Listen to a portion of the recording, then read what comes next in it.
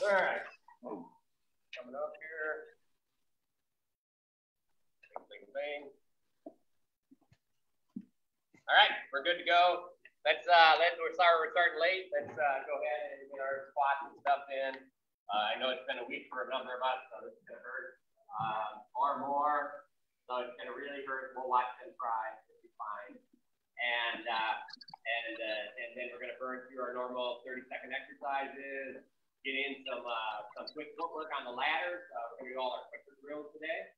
Um, and uh, let's uh, let's work on really relaxing through those, uh, adding a little speed. So the idea is again, keep keep your head clear, try not to worry about the steps on the ladder and all that other jazz. Just worry about speed and clear mind. So, all right, last quick squat. Uh, I sent something out on this one. Again, the idea is your legs, your chin should be the same as your back. Don't don't bend too much over. And, and uh, once again, just go as far as you can. And then when you hit that spot you think you've gone far enough, add another half inch if you're having trouble. For everyone else, keep pushing.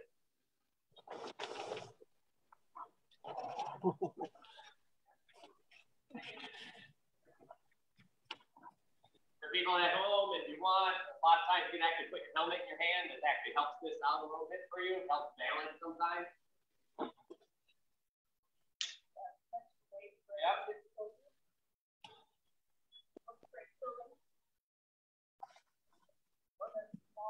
Or a ball. All right. Child, there you are. Two beers. All right. So let's do the ones that on the same same type of thing. This time we're gonna keep our back nice and straight. Be perfectly up and down, and we're gonna we will not be on our heels. We're gonna stand up all of our feet. You should essentially go down, even higher, back up, and then push on those toes. Calf cramp. This is gonna be great. Oh.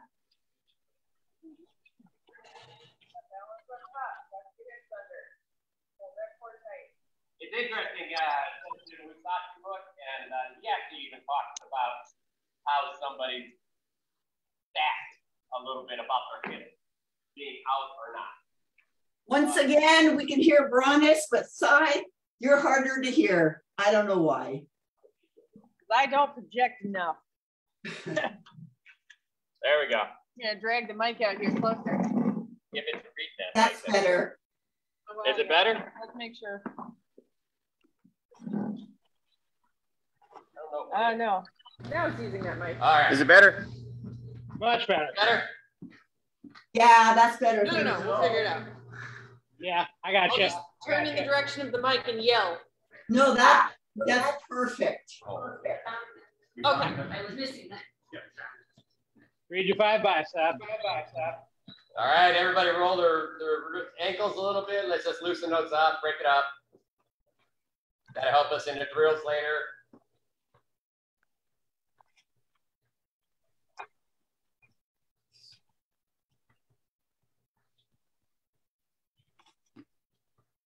All right, let's do these.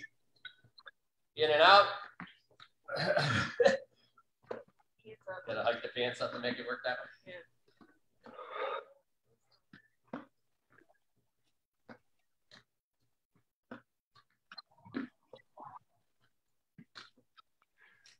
My legs just don't want to go up today. That's, uh, I don't know, it's the- Probably one week of doing nothing and being lazy.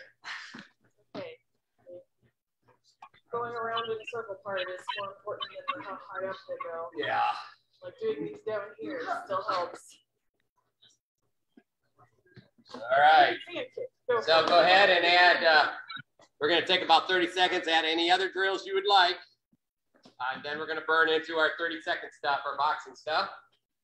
Uh, I know for, for me, I'm usually I just like nice, relaxing, clear your mind.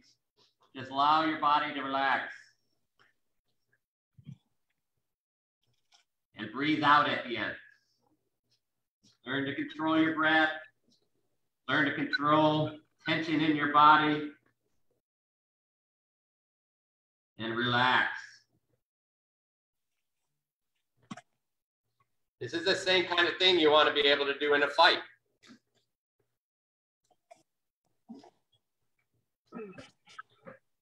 Work on good breath.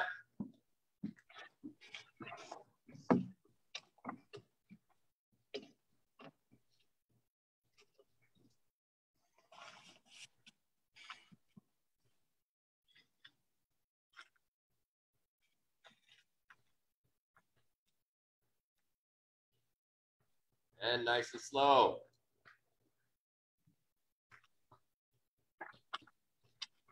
All right. That's a good time to really just let yourself clear your mind a little bit. We spend a lot of time, I know guys that we've been spending a lot more time on the idea of clearing your mind and uh, uh, and there's reasons behind that. And I think we're seeing good benefit. I think a lot of people are learning how to control emotion much better and things like this. This is part of that. Being able to let things just roll off you, right? That's that's part of in a fight. Somebody somebody touches you and you think, oh, they just hit me. That's enough time, you know, or they just touched me. Was that good? Wasn't that good? That's enough time for them to touch you a second time. The idea being somebody hits you, you just like, okay, they touched me and you finish what you're doing, you back out, you're like, oh no, that last touch was good. But find that safety before you start thinking about stuff. How many times have you been struck after they just touch you?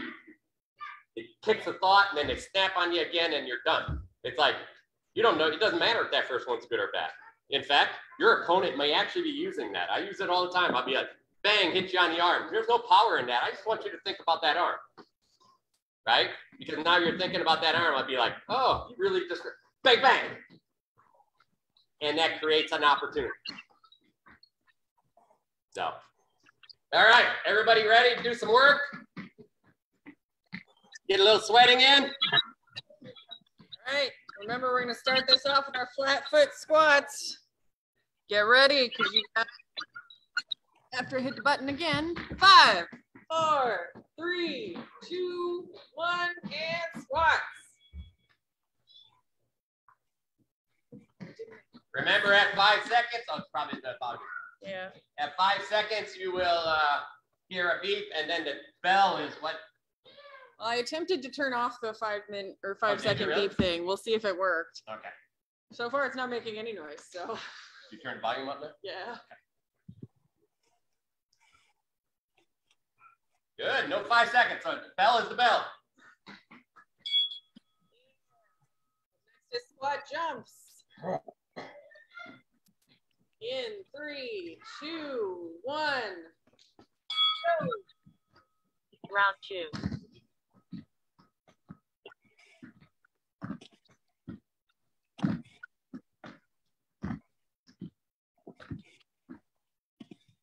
Think about them toes.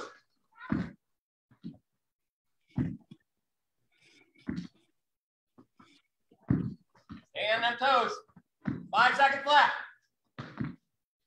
Get a couple more in. And Good. Next is lunges.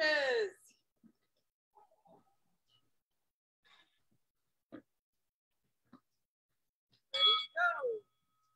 Round three.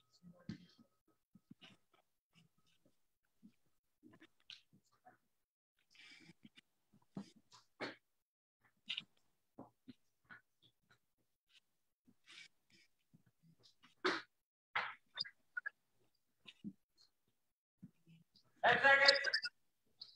You can do it.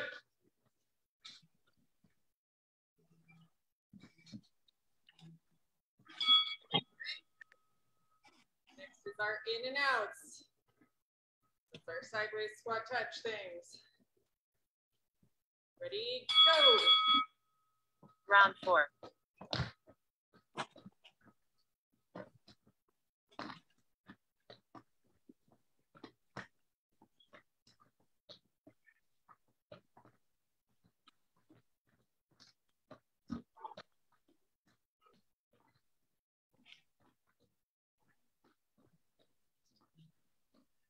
Five seconds. Push it.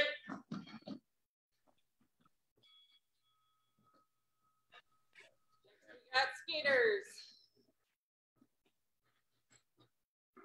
Two, one, and go. Round five.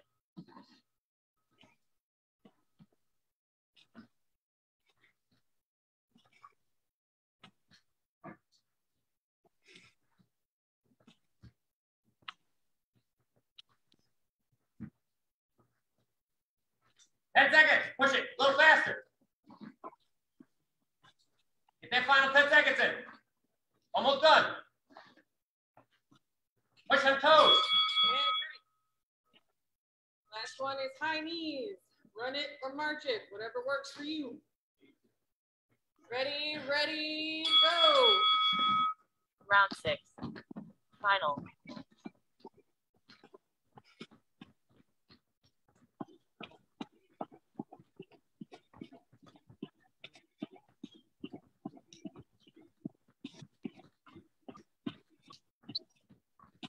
Ten seconds.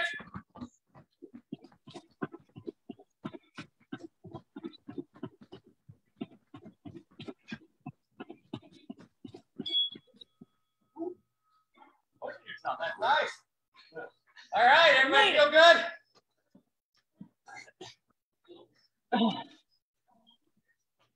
Love a second round, wouldn't you?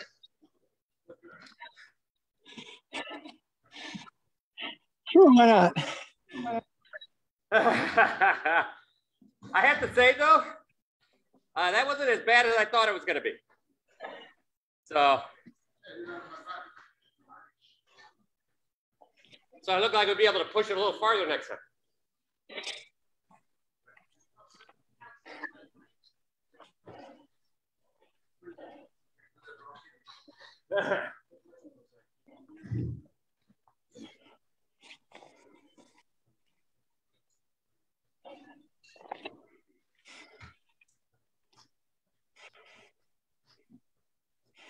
Oh no, we still didn't get the introduction to the 80s music.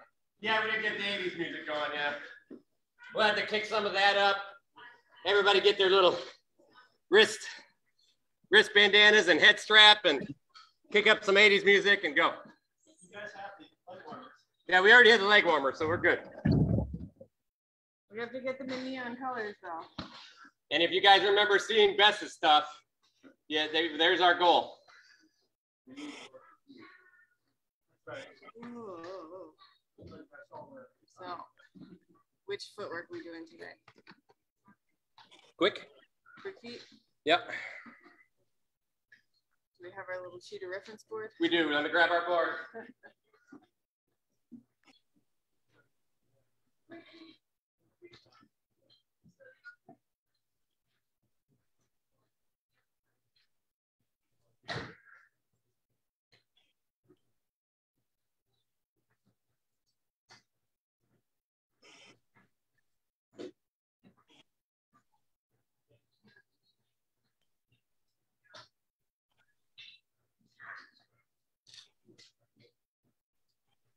Okay. I got my quick reference board. We're gonna do quick feet. Lots of quick today. Ooh. So, is everybody ready? Ready to get going? Yeah. You're gonna take your silence as yes. So we're gonna start off with our first quick feet, which is our two foot run. Nice and easy. That's it. Don't worry about the ladder. Just bring it on your back.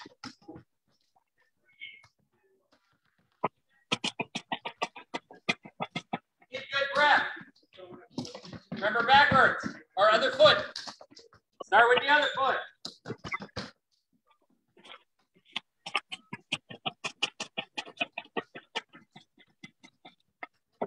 Some quick, so go ahead and throw in backwards.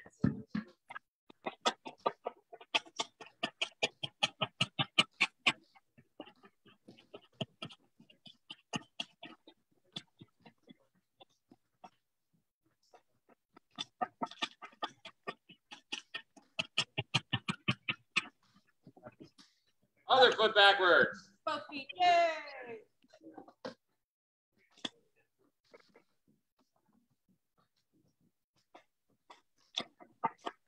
Worried about this, the ladder itself. Just do it on its side or do it off the ladder.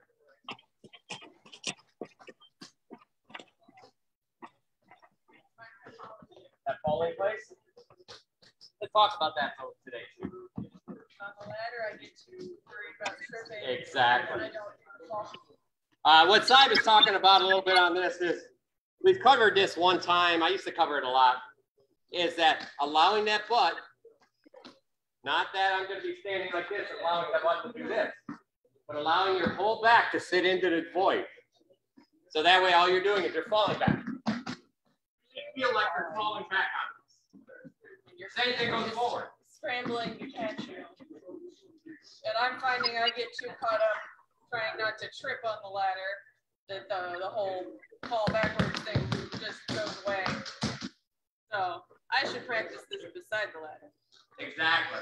So I want everybody to practice this once where you're feeling like you're doing a control fall backwards. You don't have to worry about your foot spacing, right? Maybe don't do it on the ladder. Yeah, do it on the side of the ladder. And I'm going to show you why this works. So again, all you're doing is you're pretending you're sitting down in a seat that's not there. And it's small steps, really small steps. You make big steps, you can't continue that fall. And it is difficult to do it for like the whole length of the ladder. I'm only making it about halfway before my balance gets away from me. So don't feel bad if you can only make it a handful of steps the first time. Like it's fine.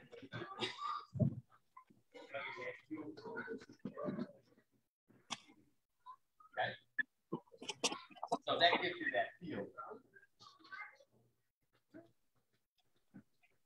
So that control fall is important because a lot of times when you're falling away from somebody who's jumping you or who attacks you even.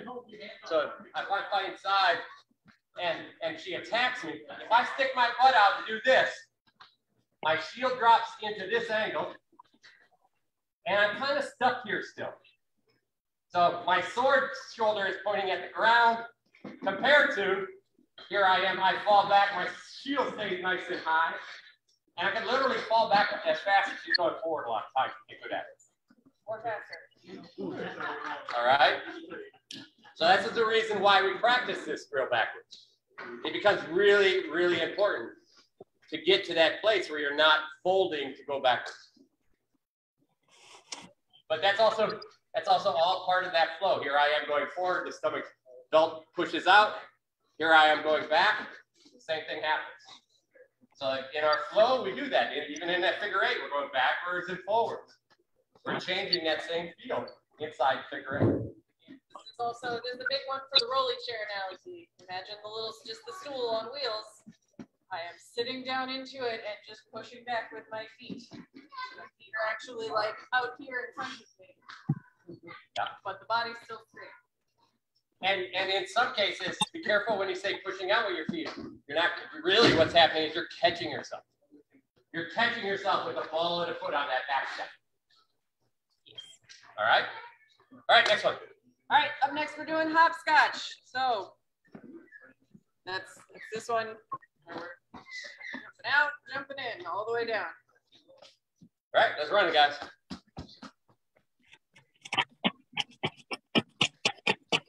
Keep it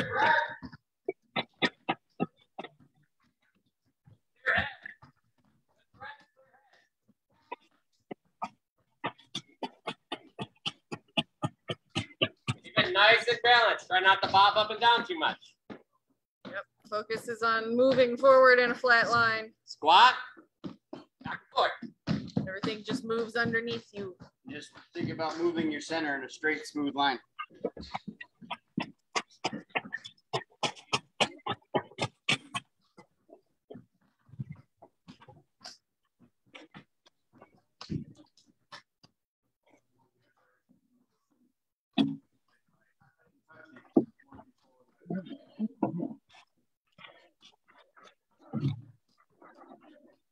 Well, yep, better. You fix that hip a little bit. That was good. Don't forget to go backwards if you haven't.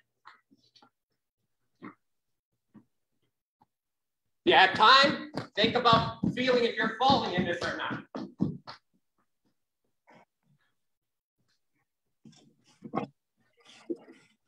The idea is if you got that fall happening, you can really feel that. You can feel that your body's moving, your feet are planted. All right. Up next, we're gonna do our three step and we're gonna actually speed it up a whole bunch for once. For this one, I'm just taking a step forward, doing my shuffle across. We normally focus on keeping this one slow and balanced and getting that nice drop step motion in there, but we can speed this up quite a bit. So that's our focus today.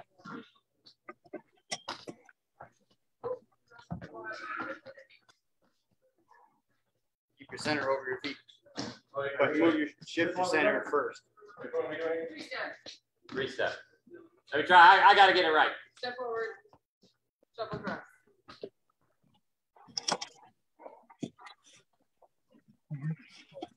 I cannot do these very much. So we can do that off the side. If you're not sure what to do here, front. Let's do it on the side here.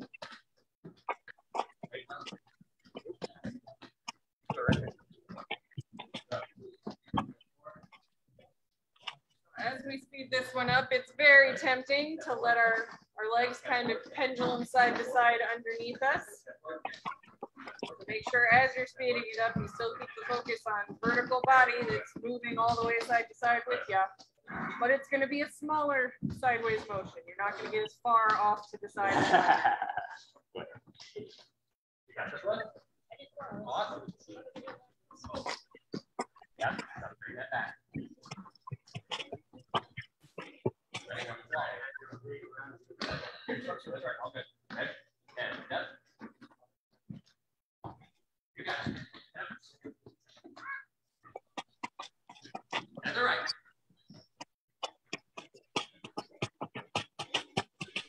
Yeah, it's okay. Look, I've screwed up the first time through just myself, and I've been doing it for years now. It has been literal years.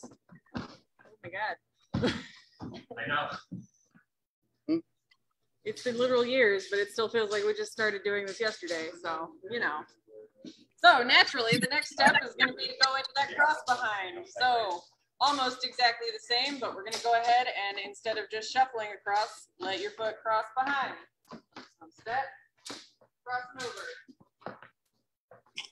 Keep your hip pointed forward. Bend your knees a little bit. Drop your hips a little bit. Very nice, William. He has some big X.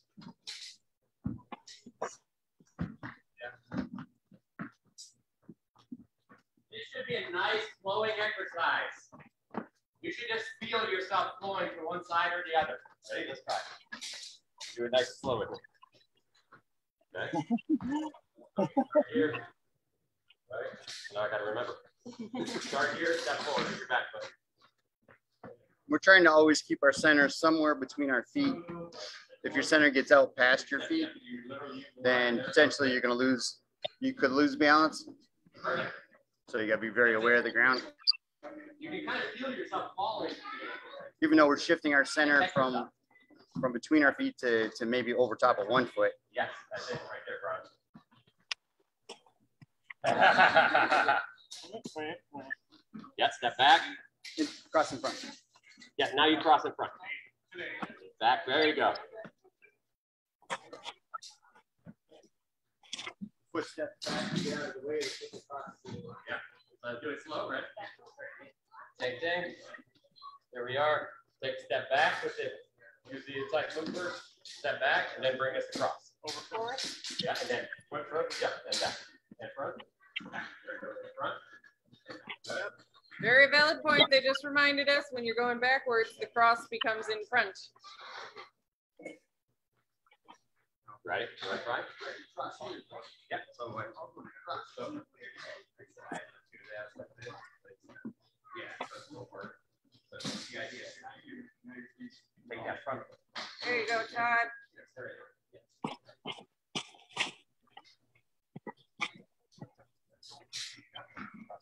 go. Yeah, it's like the yellow brick road type of deal. All right. How they doing online?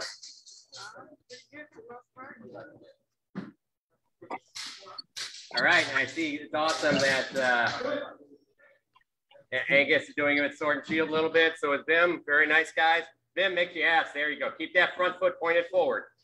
When at crossing foot, as long as you point forward, you're going to keep your shoulder pointing forward. You won't have swinging on your on your shield. So if you have a sword and shield in this place, you don't want this scenario where you step back and your, your hip is pointed this way. I gotta get the camera on you. Okay, so you, you don't want a scenario where here I am, I step, my point, I'm still pointed, but then as soon as this goes here, I'm pointed the wrong way. Turn your hips and everything. Right, so you, you end up turning your hip because the front foot is turned. So the idea is here, and I fall and I stay pointed at my opponent. So that way you're you're always facing that opponent, uh, opponent, your defense and offense are coming from the same place all the time. All right. Next up, we're gonna move into four step.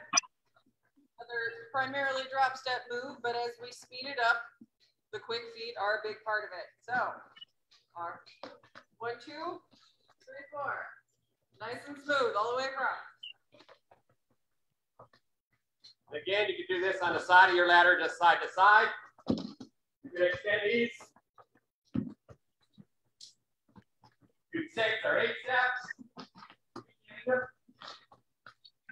Sometimes pause at the end of, of going sideways so that you know you're keeping your balance. If you end up penduluming and forcing yourself to, to take the next set of steps because you're about to fall, then you're not in control as much.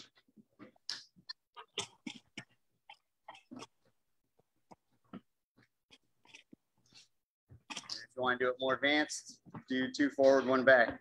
That's it. Bend it that way, getting those legs. And Squat a little also bit. There we go. keep it on the balls of your feet. Very good.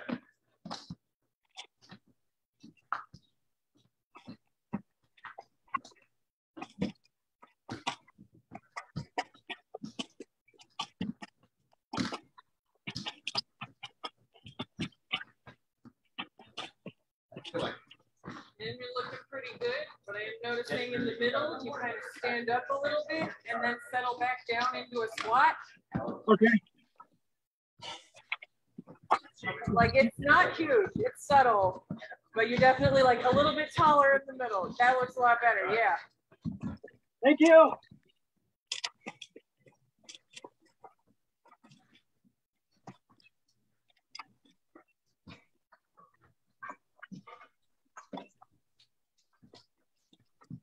So this becomes very important in a fight, again, to stay with your opponent.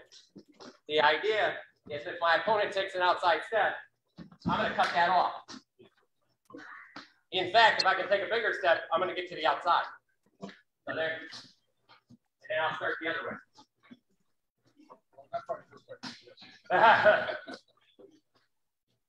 So you start doing that, I start going, okay, exactly. Just gonna get out of there. All right, moving on. Lateral in, in, out, out. One of our quintessential quick feet.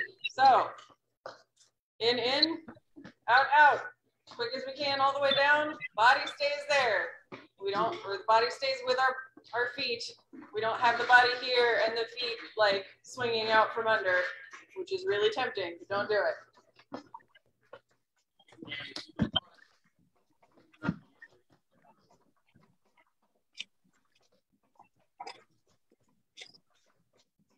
And try not to look down at the ladder. Your head forward.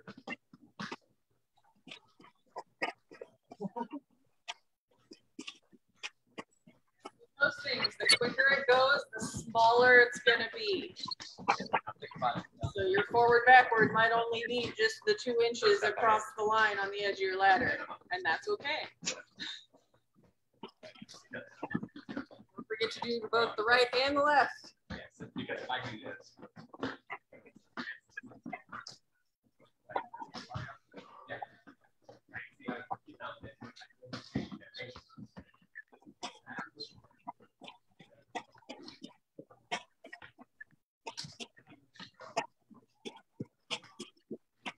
And remember, you can do it on the other side of the ladder to switch the feet.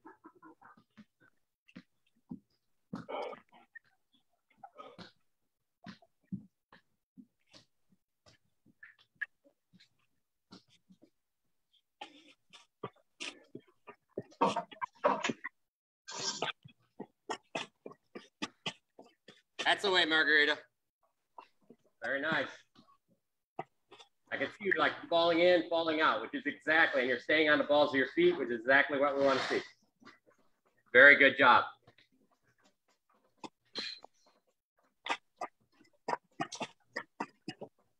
Right. People a second to finish this run because I still still see people going. Nice job, Angus. You're doing a nice job falling in and out as well. Thanks, Very Ron. good.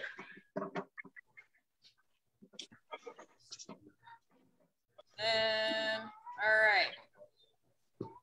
Ready for the next one. Start forward in out. In, in, out, out. So we're gonna face it. We're gonna break down our hopscotch. Step out to the side and then step into the middle, all the way down.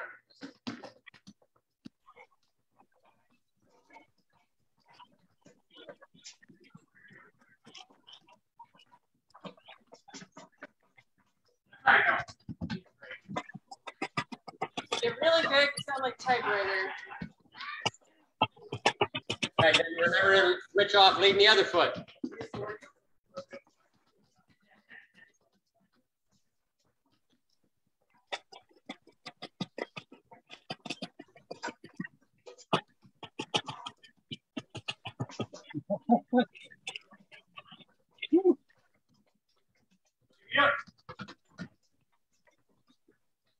All right, in and out. Remember, just. Here go. Follow me. Yep, just him? Here, here. Right, left, right, left, right, left. There you go. You can just say in and out, out, in and out, out, and it'll get you there. We, we chose very descriptive names. They're not super creative, but they tell you what you're doing. At least they try to tell you what you're doing. Oh, it's fine.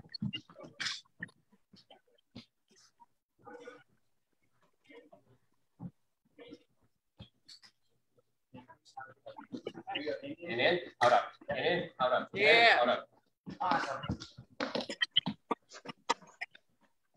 out. That's all right. It gets harder. I mean, easier. Sound effects help. It really does.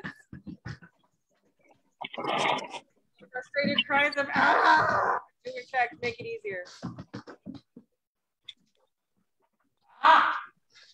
See? How about, how about that cry? Made it easier instantly. Yeah. Having trouble with my alt foot.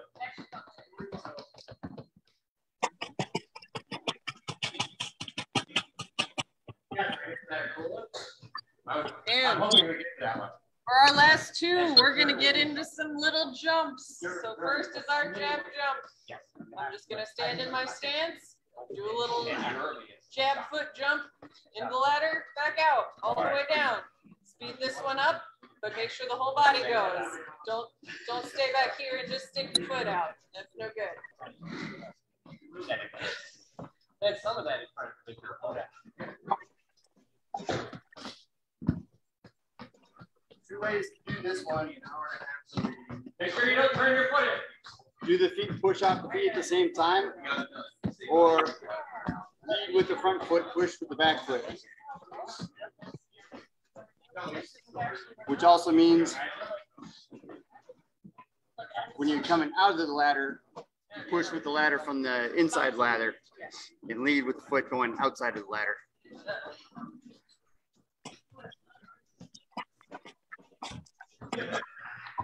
And don't forget to switch your stance. Go funny foot forward.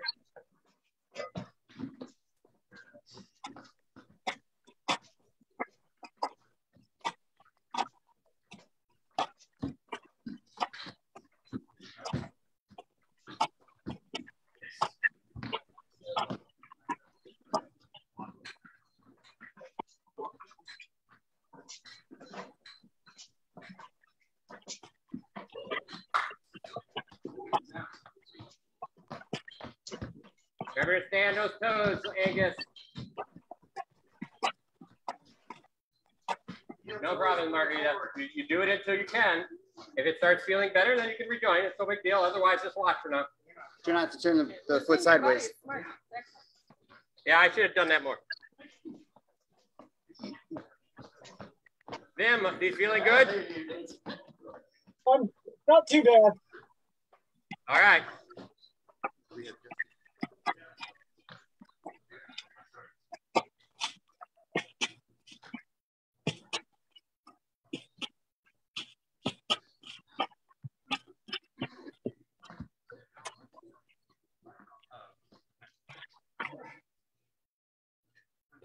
It's like all the Palantir here. What the heck? Palantir party. All right. All right, Bronis finishes, we'll run here, and then we'll go into our last one for today, which is gonna be switch foot. So we're gonna start one foot in, one foot out in our stance, and we're just gonna swap them all the way down. So body stays in one straight line over the end of your ladder, everything just happens underneath. It's uh, very interesting. I see this footwork being used uh, by a lot of foam guys use it uh, to change up angles and things. Uh, but it changes up that tension zone. So you're adding another layer of thought in for your opponent. So these quick ones, remember, get, get down into those legs, get that back straight. You have to do it all the way from left. Yeah, like if you're tripping on the ladder, go to the side of the ladder. Not a big deal. Ladder's just a tool. So this is a good one to this is a really good one to try when you're in a fight with somebody that you control the range. So if I'm in a fight with Side, every once in a while I may be here we are fighting. I'm gonna and switch it. Just don't have to throw anything, don't have to do anything. Read what they do. So I'm looking at Side, I go, hey! So she's falling back. So my next step might be over here. So, but this is a good one you could do and read. That's a probing move.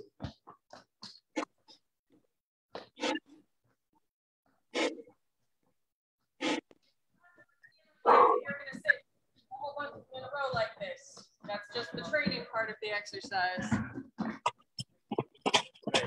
Center, smooth. Bring your hips down a little bit lower.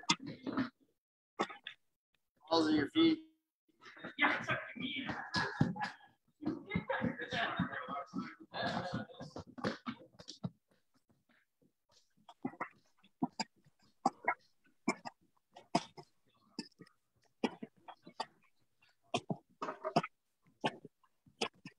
All right, remember you do it on the other side of the ladder, you're leading with the other foot.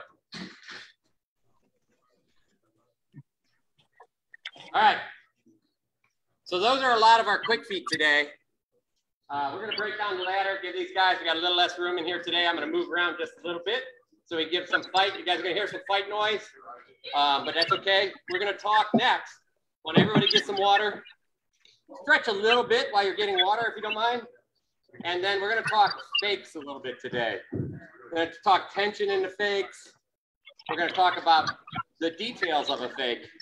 Because what I have been seeing is people feel very confident, which is wonderful. But sometimes you get so confident that the only thing you know is I'm gonna do something and throw. You gotta, you've gotta relax and and take it to a point where you understand what's gonna happen before you throw. You should know what your opponent does before you throw. So we've been doing a lot of fakes with feet. Now we're gonna do fakes.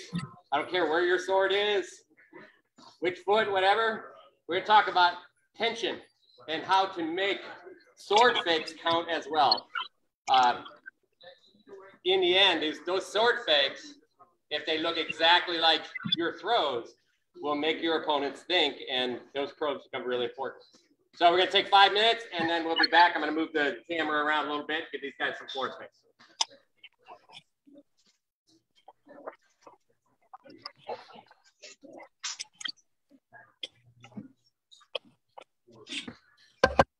Well, we can see. Everybody else, go ahead and get your gear on.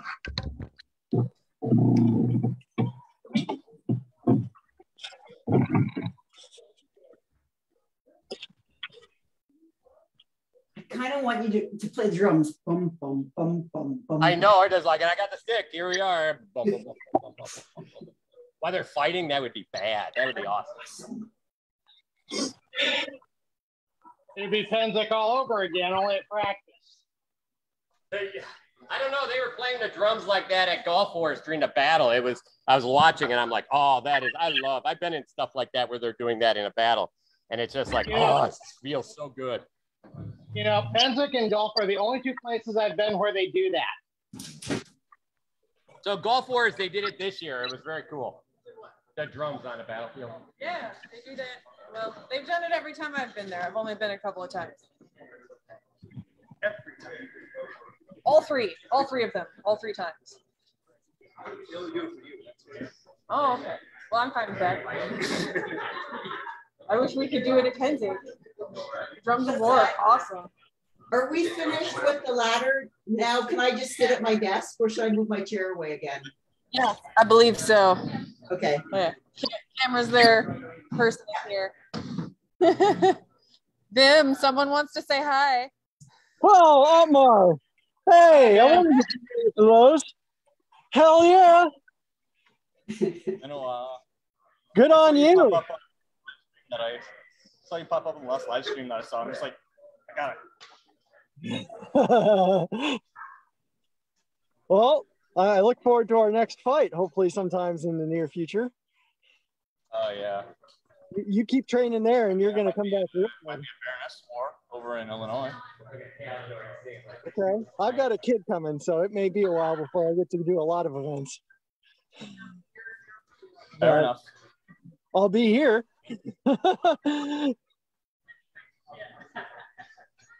Very cool. I don't know.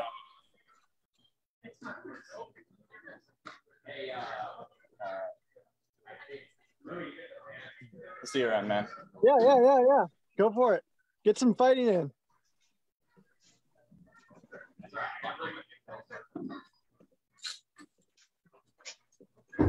All right, we're just getting some target mitts for people. They're going to walk through some of the striking drills. Um, and and again, uh, you know, Germanicus and uh, gets the idea here. It's important that you go ahead and find when people don't, you know, if people have some things that are going on uh, and just can't get in armor, just getting them back to practice and be able to do pad, walking pad strike drills, change up angles, learn how to strike while moving becomes a really important thing really good exercise when you're at practice. Everybody should at least try to get a pair of pads to practice and some foam swords so that you can actually practice this. It's uh, it pays off and it pays off huge. So uh, it is definitely one of those places where I think uh, we don't do enough of it in the SCA, and it's amazing to see how bad people are working the striking pad drills. So. Oh? All right.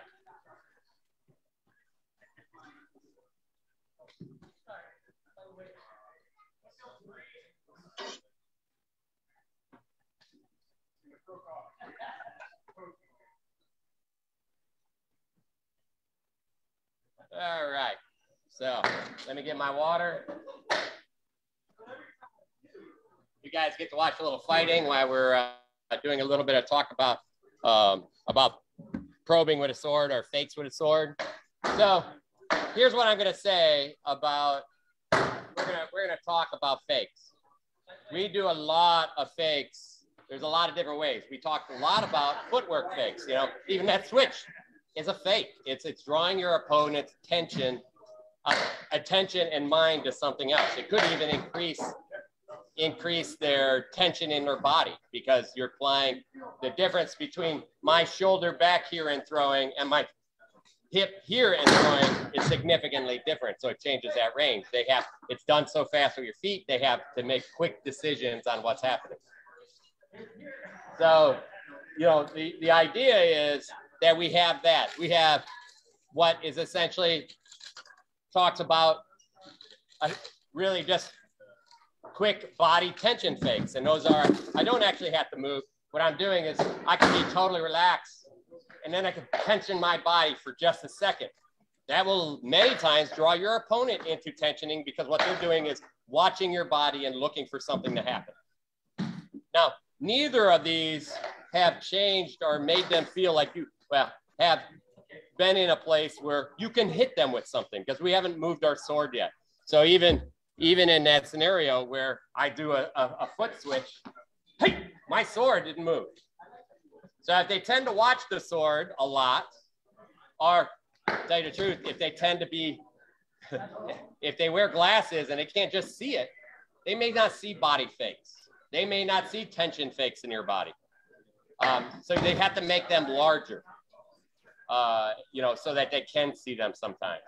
Um, you know, that that that switch, quick switch may be instead you do that quick switch forward where you take that back foot and switch while you're falling forward. That brings you to a line of sight for them, which also gets you to that point where now you changed range and feet at the same time. Now your opponent can see you and has to react.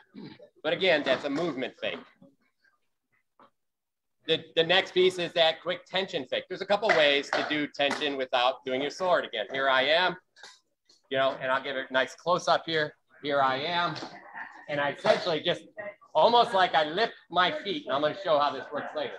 And I just drop a little, and I breathe out, let that air out. You can let it out slowly, but you notice my sword may change height a little bit.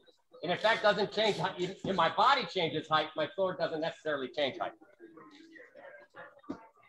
Because now I can still throw high. That same type of fake occurs on a fake leg shot. Here I am. I could literally just drop my body. Hey! I drop my body. Hey! Make it look like a leg. I'm going low because I'm. They drop that and then I pop back up and throw a headshot. Again, we're now we're using just body fakes. We're not moving our feet, but we're using body fakes so that your opponents have to think about what you're doing.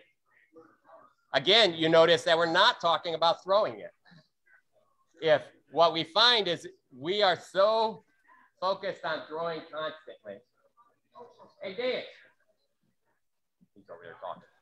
We are so focused on throwing constantly that we lose the we, we take our own ability away to build a fight because we're like, okay, I got to throw something. No, you don't. There's no shot clock. We, we, we're not in a place where it's like, hey, I got to throw something. It's absolutely not it. Or we're not also not in a place where, hey, I could hit that and you just throw it, but you don't even know if you could hit it yet. What you want to do is try to make sure you can hit it. The more you raise your odds that you're going to hit something, the less you take a chance at being hit while you're doing offense. So if I'm constantly throwing, bang, and this guy's timing, he rips my arm off. But I didn't know. Now, if I fake this throw, hey, and now here's a case where I start turning my sword a little. I don't turn a lot. I fake that throw a little harder. And I can see that his sword starts up for a throw. I'm going to be like, oh, that guy's going to counter shoot something. Well, am I going to do that now? Maybe not, because I just learned that he might rip my arm off. But if I never took the time to figure that out, then you're fundamentally, you, it's an opportunity to get hit. And, and that's the idea is we're trying to take out all the opportunities to be hit. So that's, that's where we are in this. And that's where we're talking about fakes. So again, we went from feet to body fakes. Um, there's another layer of fake. Uh, Musashi talks about it, and it's actually your breath or voice or sound. Um, and, and, and Musashi talks about the three layer, three different places you can make sound and do stuff. At the beginning, before you throw a blow, hey, and then throw, that voice essentially transmits what shocks your opponent or makes them think, and then you throw in right after it. There's the voice when you throw at the same time. Hey! The idea there is I'm throwing and striking at the same time. That voice allows you to blow all that energy out of, take tension out of your body by relieving that breath from your body and deliver all that force into your opponent. I'm going to add one little comment. The first, the before voice also adds tension to your opponent. Yeah, that's right. Exactly. All right. So, and that's, and that's 100%. I, I use that before voice. Sometimes I use it in melee all the time. Not even hitting somebody, I'll run around the edge and go, hey, hey, hey, hey. And I, now they look at me. Well, guess what else they're not looking at? Uh, did I throw a blow? No. And I'm winning that fight because I'm, they're like, what, what, what, what, what? you know? Uh, so that, that becomes, you know, that idea of the before voice, as uh, Louis says, that's how Musashi talks about it. Um, and then there's the voice after, and I, I find this one the most interesting because sometimes I um, I tell people that they have to watch uh, this, especially for Florentine. You throw a bunch of blows, bang, bang, bang, bang, bang. You might have hit with the first one. Your opponent thinks, oh, he hit me, and then he has to block three or four more shots. Well, guess what? Now, well, that must not have been a good hit if he kept going. That's what they think. So sometimes the idea is like, bang, hey, you know, and then give them time. You don't need, you know, the voice at the end, the hey at the end after I throw is to wake them up, get them thinking, and then you give them a chance to think about it. Fall back into that that gray range and work them. Allow them to think about that blow a little bit. If you believe it was, doesn't matter if it was good or not. If it's bad, you say no, don't take that. That was terrible. But if if it's something that's on the edge, you just let them take it. If they don't take it, no big deal. You're in the gray zone. You're still in the attention zone, but you're giving them time to think. By the way, what are they doing? They're thinking, which is clouding their brain, which is right back to what we talked about for last. So, so that's how we're, that's how that post voice works. But it doesn't have to be a voice. Sometimes you, you're fighting, and Angus, you had this. I think I even called you out on this one. You were fighting in crown. You were bang, bang, bang, and then and you hit him with the first one, you could see that there was probably some point that, that that person could have thought about it, but you didn't give them time. And so they went back into the fight again. They're like, oh, okay, must not be good. I'll just keep going. I don't have to think about that anymore. But when you give them chances to think about it, it becomes more difficult. So, and as long as you're not disengaging big or anything, you're falling into that neutral zone, you can still keep an edge of pressure on while they're thinking. And and that now you're breaking them down mentally in that space and that's where you're going to take some more advantages. But you have to sometimes in our sport you and musashi was the same way. He was beating people down with a wooden bokken and at some point they knew they were defeated but you have to give them room to admit they're defeated sometimes they won't admit they're defeated i fought people like this i'll hit them over and over again and i'll just smile it's like bang and i'll smile you know and and then be in that zone i'd be you know, and, and they're like, what do you think? I go, don't take it. And, and then we're still fighting. They don't care. I don't care because I know at this point I'm setting up house in their head. Because now the expectation is, okay, he touched me once, he's gonna he can touch me again. I have to go defensive. That's great. You go defensive. I'm gonna hit you because it's easier to hit you in defense and offense. Oh, you know, and, and the reason why that is, is because I'm safer because he's not thinking about fighting me. He's thinking about bringing defense to himself. He's not externalizing that fight. Musashi talks about that all the time. You should, you're always there killing your opponent. They talk about in German longsword. Every every blow is a block and it's a strike with a block through that that that line that you're striking it. But the idea, the real fundamental idea is that you're always killing your opponent. And that's what you have in your mind. Defense is all part of that. But remember, defense is a technique. That's something you can do 10,000 times, and then you have to trust yourself it's going to be right. But you, I don't care. It's like, bang, you hit him. You, if you're sitting there thinking, why didn't he take that? Guess what? Now who's thinking? Now you're thinking. So he's winning. You see how they just turned that around on you? If you hit him once, you can hit him again. So bang, give him time to think about it. It's like, no big deal. I'm thinking about hitting you next time somewhere else. If he says, oh no, that was good, I'm like, okay, thank you very much. Shake their hand, go off. So in, in that line, we went from probing with voice, probing with feet, probing with body, probing with voice. We added a couple layers on the voice route so that you knew all three layers of the voice. We added the understanding that sometimes you have to give your opponent time to think. In fact, oftentimes against a younger opponent, you want to make sure they're thinking because their natural ability is much faster than yours. They'll spike adrenaline faster.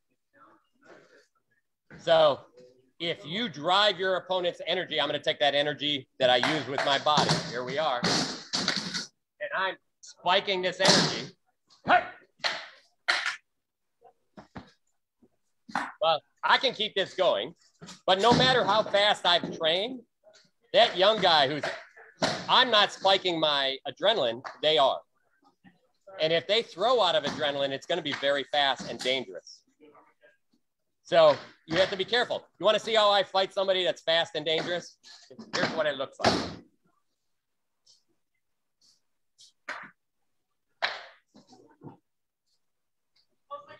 I give them nothing. You take everything away so that they don't know how. They're relying on you to help them spike their energy. How many people you fight after you're done? They're like, that was the best fight ever. Oh my God. I want, I want that feeling every time. Well, is that the way you want to fight? And it's fun. And I know all the answers want to be yes, that's the way I want to fight everybody every time. But that's bullshit. You know how I want to fight people? I want to make them the worst fighter they can be for that moment. When I'm training them, I will make them the best fighter I can be for that moment. Just to show them that they do have it inside them. But when I'm in competition, do I want this guy to be the best fighter? Right? So just be careful. There's you fall into two edges of thought here. And one is there's the entertainment of, of the crowd and so on. But there's also that entertainment of the crowd that are looking for you to win. So, you know what's exciting? When you could take that guy who's super fast, calm him down, and one shot them, and they're like, holy crap, did he just one shot that guy? Right? Well, you didn't have to have a giant fight for people to go, holy shit, that guy's good. So your, your goal in tournament, you know, it's you got to take a look at this. Would I have gone out and it's like, hey, the guy put one bullet in his gun and I got six. Well, hey, you should go back, put five more bullets in your gun. Hell no, I want to miss on the first one and then I'm going to win for sure. right? So it doesn't have to be, you don't have to bring your opponent up to have it as a good fight. A good fight is actually making your, and understanding by making your opponent come down. Now we're using our brain. It's, it's not seen by many other people, but you know that if you go in there and you're like, ooh, this guy moves fast, he, he's super adrenalized, I'm gonna slow him down. And I'm you you get in there and you're like, you put some tension and you take it away, and then you put some tension and you take it away. And you get to that point where they slow down because they're not sure what's going on. They don't know how to control their adrenaline. They're waiting for you to you to burst or throw something. And now you're actually physically in control of somebody that may even be better than you. So now, what part of that is really good fighting? Is it just to have a great fight and maybe the guy beats you or the girl beats you? Or is it I made them do something and I won? Or I made them do something and I lost. It doesn't matter. As long as you understood you made them do something. You know, that's that small goal. You know, you don't have to win to win. The idea is if if I'm fighting Grönwalder and I make Grönwalder essentially bend in half, I'm like, woo, I win, I'm done. Uh, you know, because I know I made him do something he doesn't want to do. So again, this is why we probe with feet, body, voice. And now the last piece, sorry, the long path to get there, but the hands. And actually we had a, a lot of trouble with the hands piece. Um, with side, and there's still some. What we see a lot is people want to, hey, here's my here's my fake. Well, it's a fake, yes, but it also takes your sword way out of position. So at the time you throw this fake and then you get it back to throw something, the other person's back as well. So you have to make that fake smaller and more intense so your opponent believes it. I can throw a fake that's unbelievable. Dude, does it really look like I'm trying? That's not believable. Your opponent doesn't care. Your opponent can stand there and like, I'll throw that when they put some energy in it, actually look like they're going to hit me. A fake should look like, and a fake could be that you throw the fake the first time and you're like, oh, I can totally hit that without a fake. And then you throw the exact same thing, but for the shot. So the fake and the shot should look almost identical. So if I'm going to throw an offside, my fake may look this way. Hey! You notice I just moved about that much, right? I didn't roll the top end. I just pushed his sword a little towards him. So now I'm going to actually throw that and like, hey, right? So now it's it's it's pushing through. Okay, I apologize. I can't, I don't have a Pell. Plus, it's probably not great for my shoulder right now. Um, but the idea is I can push that all the way through now.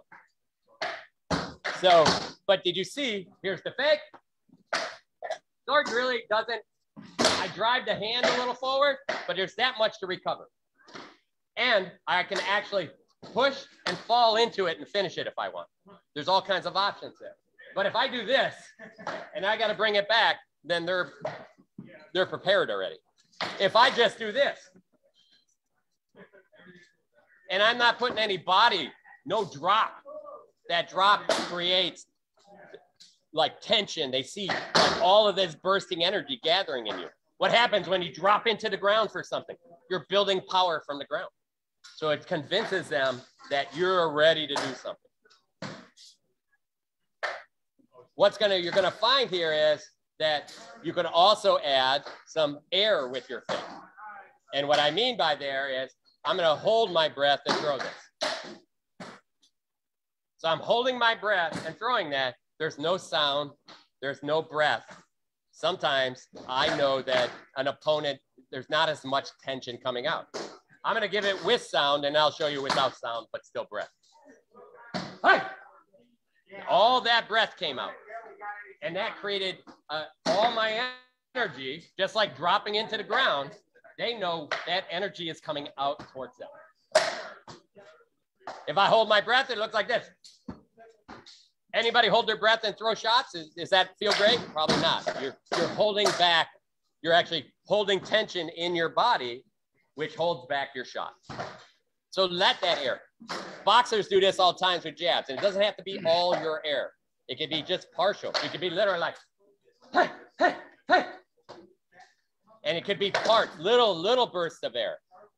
Boxers do this all the time with their jabs. Hey, hey, hey, hey, hey, hey. Right? And what happens in that is that at the end, when they really want to do something or they want to power up, then they can release the rest of their air. For me, I don't tend to do that quite as much. I do it a little bit. I'll let air out, but I actually, on the return, on the relaxation, I'm like, hey, I'm actually breathing back in just a little bit as well. If I'm breathing really hard in a fight, ha, all that bad air comes out. All that stuff you've been holding in your lungs is completely empty. I can bring all good oxygen back into me and I can start breathing. So what we're trying to do here is, is make sure that your body is fueled to throw a shot again. So I could be, you know, we're working this, you know, Vim, I've been watching your videos, lots of footwork. I'm sure everybody's like, hey, you're moving too much.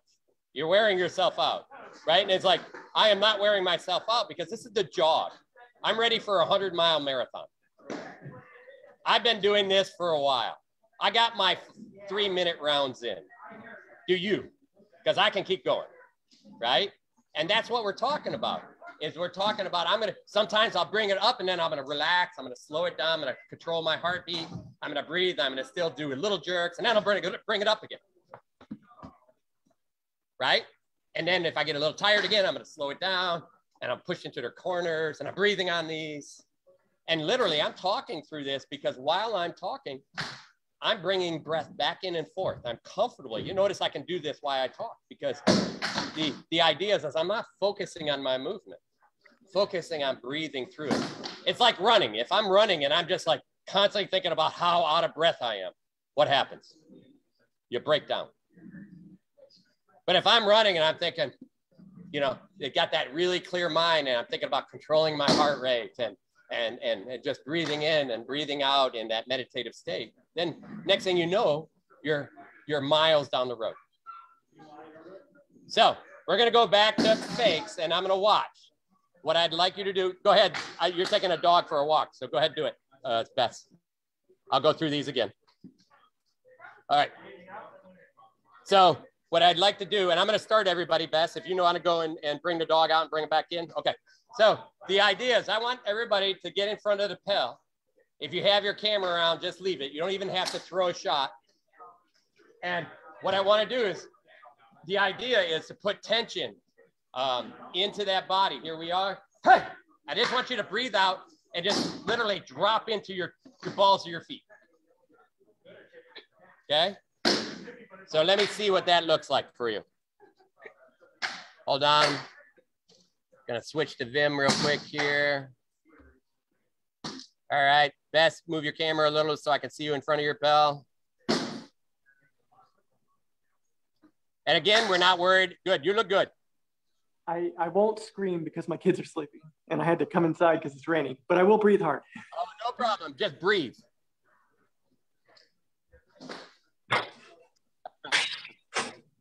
So remember, again, on that Vim, there you go. You don't need to step. I want you to literally just drop, like lift your feet, both feet. Yeah, like you're almost falling into it, right? Like a little jump. You don't lean forward. Watch that back and the hips. Yep, you should be dropping your butt straight to the ground. There, right there. That's it, Vim. Yes, that. Now I want you to put a little more tension in that hand. Yes. Yes. Now I want you to go ahead and make sure they're aware of the top of the sword as well. The top of the sword is what hits them. So you, there you go, like that top of it is ready to throw, isn't it? You should feel like you could literally do it. That's the idea. Uh, look in the front of that bag. I usually carry boxing wraps in the two pouches in the front of that, my helmet bag. That's the way. Now drop into your butt. You're leaning forward on those. Okay, I'm gonna show, I'm gonna go back to me and I'm gonna show it and then we're gonna move off to, to Angus for a sec. Um, but I'm gonna go back to me real quick first. Is this me? All right, this is me. Here we are. Watch, watch my feet here. So what I see you doing a little bit, and I'm gonna do it sideways, is you're doing this. So you're dropping this out. See my back change? Watch this now. Right?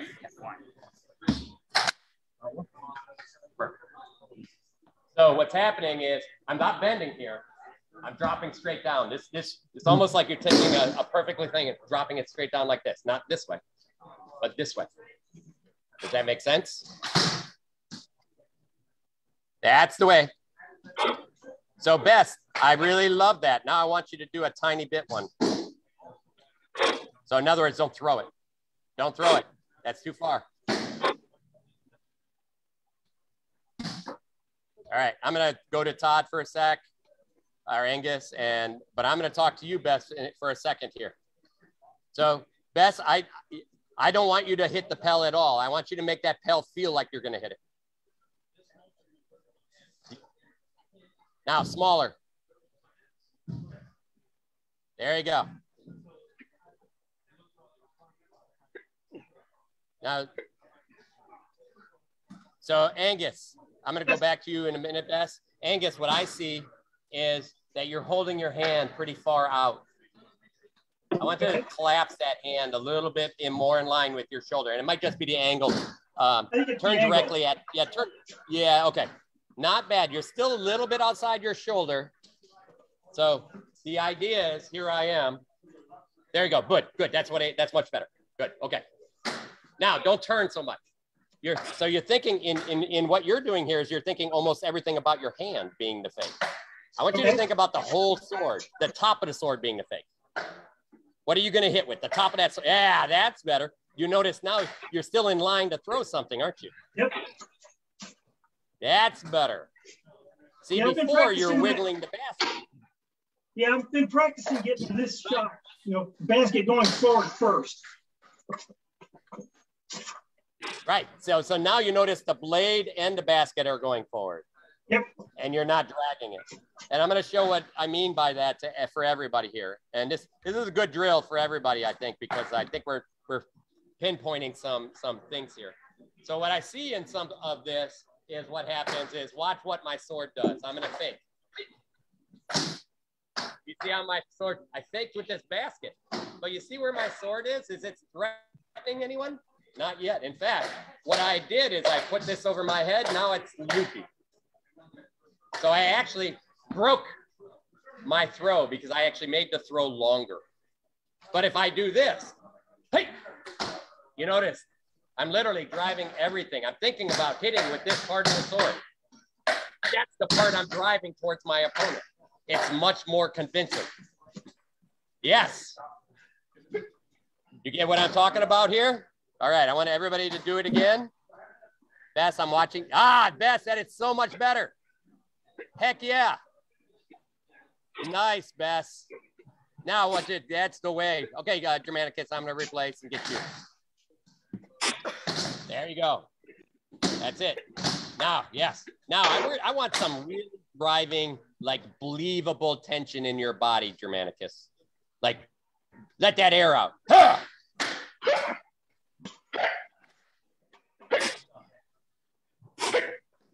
Yeah, exactly. And you notice how easy it is to return back to your defense, isn't it?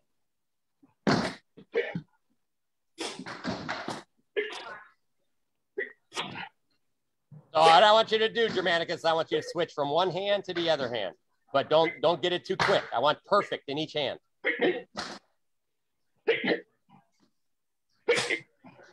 There you go. There you go. That's the way. All right, back to you, Vim. Now, Bess, I want you to go ahead and throw a real throw on that. Throw a fake and then a throw. All right. I can't hit the pellets, really upsetting the dogs. I just had to get some treats. Oh, no problem. Okay. Then, then really good tension on those fake.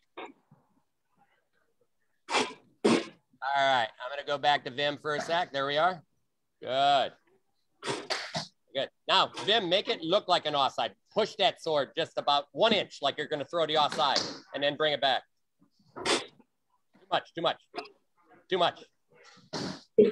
Yeah, right there. Yes. You see how fast it returns? There you go. You notice you're hardly moving it, doesn't? So this time, th- throw it. This time, go ahead, throw it. There you go. Good. That's the way you see.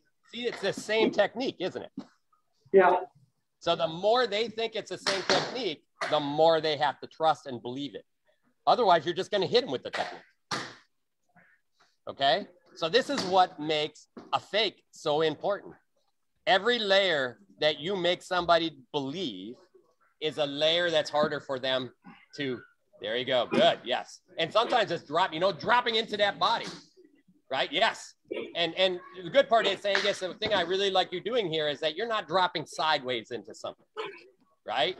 I see a lot of people throw fakes and they drop sideways into it. And that is not what you want to do. You want to drop into that whole body. You want to drop straight. So you still have opportunity to throw either side. Yeah, and I'm looking at like the the fake toward the leg is just a little bit, Yes, you know, instead of here, just a little bit more down. Exactly. And and most of that fake to the leg is literally you're just bending those legs, isn't it? Yep. Yeah, my sword really hasn't moved any.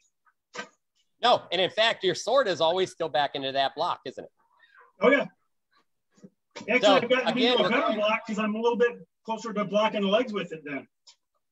Exactly. Now you're being you're falling into and even when you push it forward, you're in a better block because you're cutting angles. Yep. All right. So this is why these fakes are so important. The, the, the big piece on these, I'm going to pop back to me in a second here. And I know that right now, a lot of you can't do this um, uh, just because of either animals or kids. Um, but the, the idea is we don't have to think about the, the yell, but think about the breath, exhaling, because that makes your opponent believe it even more. It's like, I'm going to throw that fake. Hey, just allowing that air comes out will make your opponent see more tension. By holding it, I'm holding everything in, and my opponent can feel that. Remember, a lot of this fight becomes very emotional, and and and and we feel the other person and how they feel. That's our connection we're making to evaluate how to fight. So, breath is part of that overall connection that you're making really good martial arts. I used to watch for when people were on their way to breathe out, they'd be like, and then I'd throw and make them suck that bad air right back in. Right? Because now what happens is I'm breaking their system down because they can't get the, the bad air out of their system. So there's less oxygen and more bad air in their lungs because they have to suck it back in. All right? Good martial arts, it can actually see those places. Later on, you don't, it's a little bit of gimmicky at first. Later on, you just see those places where somebody's like, you can see they're tired. So and they start breathing hard. So then you all of a sudden, every time they want to breathe, you're like back. All of a sudden, you're just your bag's like, hey, hey, hey, and then and they're just holding their breath because you you can tell when they're trying to breathe out. Now you're take stealing that breath from them. All right. There's also there's Musashi talks about waiting for somebody to blink. Now I'm not watching their eyes actually. So literally, you wait till they're like they're blinking, and that's when you throw. Um, and uh, you know, again, that falls back. It's like you don't want to be staring at something because then you they can use eye fakes and things like that. But the idea is you're finding that time when they're in the point where they have to do something else. If that's breathe, blink, readjust, that's when you're taking your advantage or you're trying to make it break it down for them. It's hard to get there. That's a, practice for a long time. But what we have to do first is we have to have good fakes. Because if we don't have good fakes, we can't have good probes. And, and the probing is the biggest piece because what I've been seeing, and, and Vim, you, we talked about this a couple weeks ago, is like, I want you to go out there and not throw a blow first, right? I want you to throw some fakes and not throw blows. And, you know, it's hard to do because what are you used to doing, Vim? Throwing. Yeah, exactly. So now we, we took that away from you, didn't we? So now your opponents, how did your opponents feel when you didn't throw? Uh, usually they get a little confused. Yeah, not, because they're used. Yeah. You're not doing what you normally do, right? And actually, uh, Bronis Musashi says that as well. Once your opponents yes, know does. what you do, you break you break the pattern. Exactly. So that's what this does. And it also adds a place where you can add consistency to your fight. The more I know what my opponent does, the more consistent my fights wins can be. People ask all the time, it's like, you know, do you think you're a great fighter? I think there's a lot better, faster fighters than me. I think I'm consistent at the level I'm at. I'd rather make every one of you consistent. I'd rather see you go to crown and, and finish in the finals 10 times in a row than win crown once and never go to the finals again. Because which guy is the better fighter? Or girl? Which which guy or girl is the better fighter? The one that goes to crown, finishes fine in, in the top 10 times in a row, or the one that happens to get to the finals and wins? I, I know which one I would pick. The one that's there Exactly. constantly. And that's that consistency, right?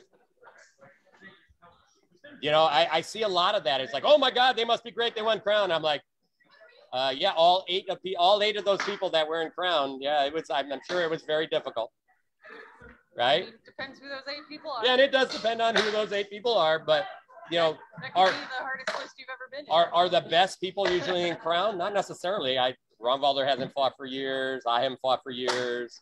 Uh, you know, you look at you know dog fights quite often, but Edmund is on and off. Uh, and then you you even get into the the, the, the guys that are up and coming. Uh, they don't fight constantly. Kellick doesn't fight constantly. You know, because well, you know they've done it. They don't want to be crown again right away.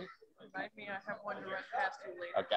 And you know, so so maybe they're not fighting that. Now, if you go into a tournament like a Candlemass or some large tournament, lots of times all those people come out. Now you have to burn through. But even in something like that, you may not run across those people. Somebody funny with two stick might take Kellick out early, and then the two stick gets taken out by Joe Blow with a lucky uh, shot because their defense is is you know no matter what two stick defense is tough sometimes. You get hit with a lucky shot. There's a lot of luck in tournaments. yeah and and then the next thing you know you're fighting a guy that he killed probably the second best guy with a lucky shot and then you're, you're fighting them. So you're you getting the best fights? Maybe not.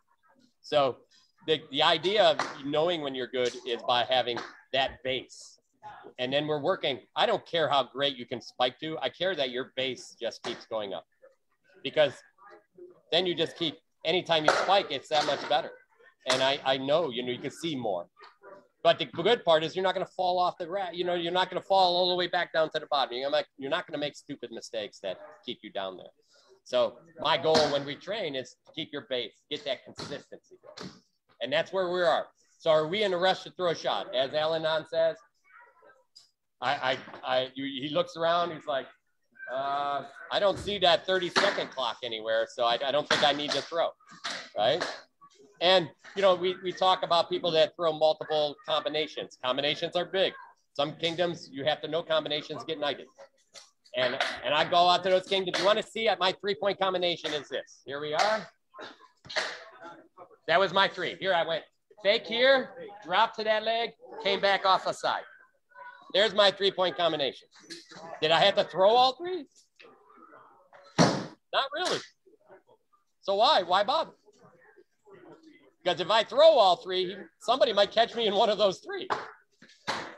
Especially if I throw all three and don't really mean the first two. And then we fall back into that mental game where if I throw this shot and then I see them raise their shield. So guess what? I'm building my second layer of combination. I'm going to fake this shot and drop down to that leg. Now, if they immediately drop their shield, I'm like, oh, now I'm going to go ahead and I got three points, right? I'm just working myself through the chess match that what we call fight. If I fake that first shot, bang, and then they throw that offside and I catch it with my sword, I'm like, woo! If I would have thrown that, where would their offside have been? On my head. I may have got a double kill. Is that good? Absolutely not. If I shoot you with a gun and you shoot me with a gun, is that good? Absolutely not. The idea is that you don't want to get hit. And that's why you got to keep in mind, you do not want to get hit. Yeah, we got throwing weapons now. so, so that's why we need to take, we, we've been working on feet and we've been working on body and, and tension. Now we have to take it to the next level and try to convince others that you're throwing a blow without throwing a blow. And that's where our sword fakes come in. And, and this is where, again, I go to practice or I'm doing pickup at an event. Do I have to beat that other person? Absolutely not. It's nice. And maybe there are times when you do. You're, there are times you go out and pick up. It's like, I got to give them some good stuff because they uh, they kind of gave me good stuff last time, and I don't want to lose this time. I'm I'm fine with that. You bet. Other people, you're like, I got time to work on some stuff.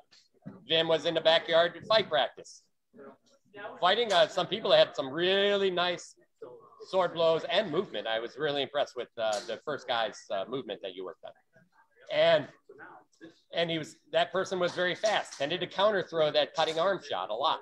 So now you fake and they cut that counter arm. And now you got, well, can I hit the arm as he's throwing now? You know, can I hit it after he throws on the way back maybe? Because I didn't give him my arm and I sort of still in throwing position. Or I throw it a number of times, he quits throwing the counter arm, then you throw it. So now you just made de- defensively, you essentially used probing as a defense. Sometimes offense is defense. I could be here and I'm fighting and I could see that they're getting ready to throw a blow and I go, hey. And then all of a sudden, what are they like? Oh, well, I just I just stopped the blow being thrown at me. Congratulations. That's a perfect defense. I had to do nothing. Okay. So so that's uh you know another way to think about what a good fake with a sword can do.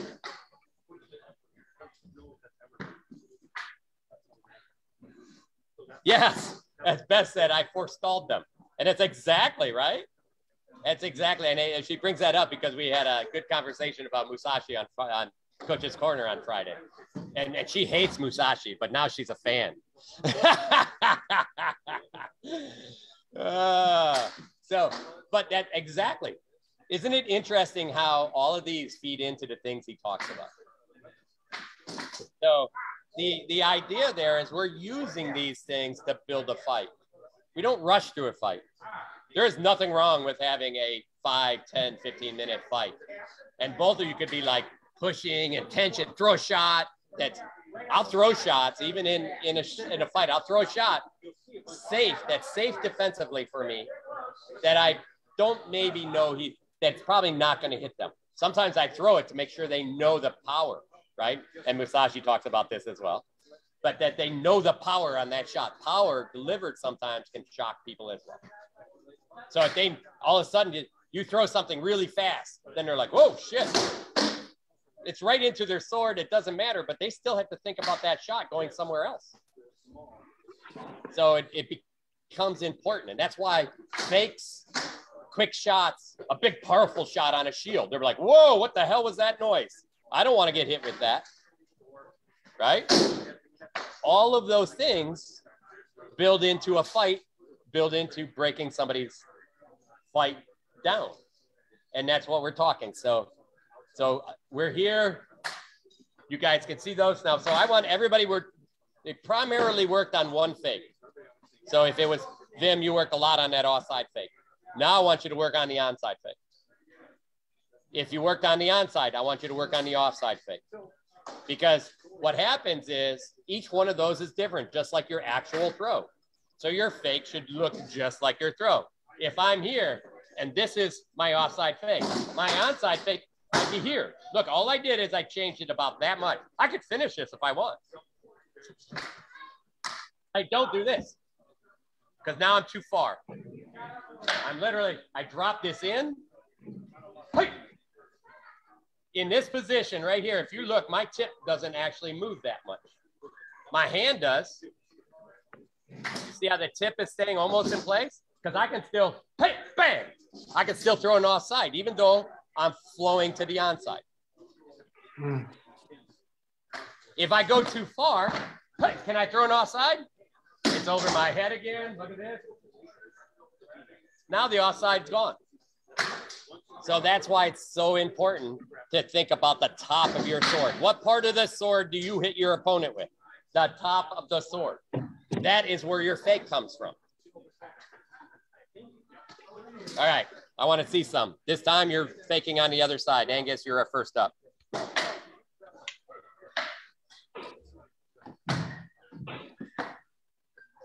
So you're you're pulling back first, Angus. You see that? So, so I want I want you to just think top of the sword forward right away. Just drop into that front leg. There you go. Now it's not so big. There you go. There. Yes. Yes. So I talk about you. That's hard not to do. To want to pull that back, isn't it? Oh yeah, yeah, you do. There you go. Now think about dropping into both feet instead of just the front foot. There. Good. That's much. You see, you feel that? Yes. Yeah, because I can I can feel the first ones I can only go here. Now I can feel I can go here if I needed to. Exactly. You could go either side, couldn't you? Yep. Yeah, exactly. Good. Watch your hands floating. You're floating away from your body a little bit. Okay. Get that hand back down and in front of that shoulder a little more. See how wide your guard is on your. I want you to touch in between every block. I want you to touch your buckler with your basket. Yep. Now touch it again. Get a little closer. Too big. A little closer. I want. I want the width of two baskets between your right there. Nice oh, see that? Yeah, that's only about two inches apart. Yes. You see how much smaller that is now? Yeah. yeah think about driving forward. You you throw a blow that's we in the past we and we've been working on this. You know, you talk about moving the tip around. That's that's a very typical SCA. So I know yes. I'm working on not. I'm working on punching from the shoulder with the tip moving at the last possible moment, but it goes against everything I've learned for like 30 years. It's very so, so be careful. Yeah. So Bess, did you say your tip is moving at the end, or when I'm, you say moving, is it traveling forward and not moving side to side? So my hand, I'm trying to make. Okay, in the one practice I've been back since you know my shoulder, I bring my hand forward, like right punching forward. Yes. at the last minute. Um, yes. And that's contrary to what I've learned. Yes, it is 100%. Thank God speaking of Musashi, everything is difficult at first. Yeah, I've you should think about this well. the blows that you've been teaching, Bronis, where it goes forward. Yes. And so that's what I've been trying to work sure. on, which is So really in that difficult place, after so many years of doing it the other way. It really is hundred percent. So just think about think about moving the thing forward that hits your opponent. In other words, the thing that's moving forward is the top of your sword, and move both the top and bottom together. Exactly. You haven't even committed to where you're going to hit yet. Yeah. Yep. Yep. That's it. Now I want you to breathe out on those. Isn't that annoying?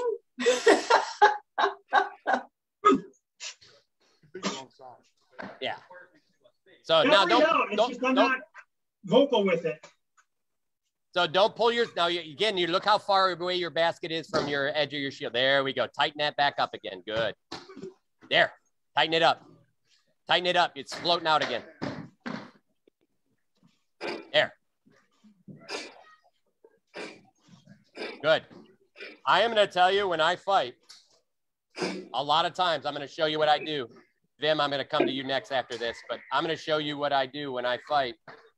And just to make sure, because this is something we talk about constantly. If I have a sword and shield, here it is. This is where my hand is. Bang, I bring it right back. Every time I come back, I could be here. I'll come back, I'll touch it. Just to remind myself where my sword is supposed to be. Always go back into your base. Remember, we talked about your what is your base? Know your base. Always go back to your base. All right, Vim, I'm going to be on you here.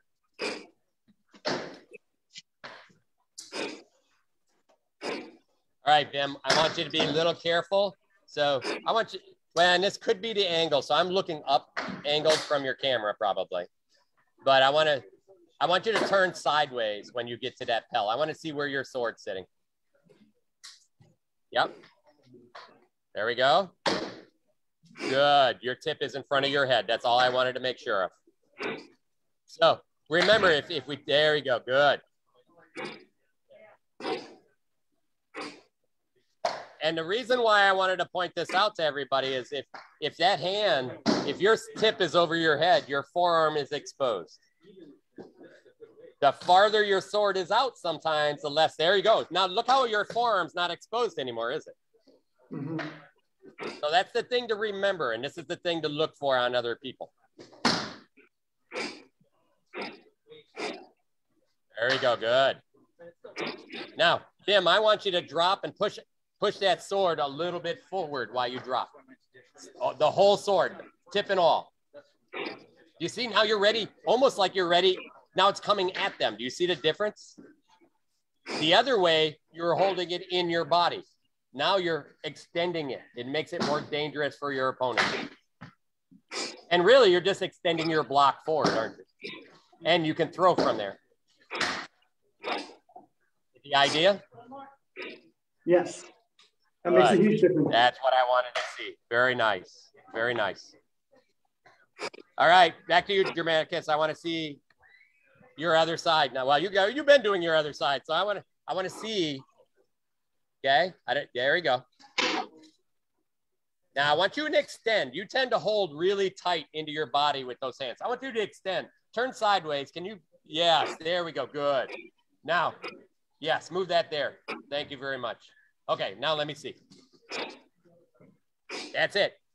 So the good part about throwing down the center like that, Germanicus, is that you're throwing across their throwing zone, aren't you?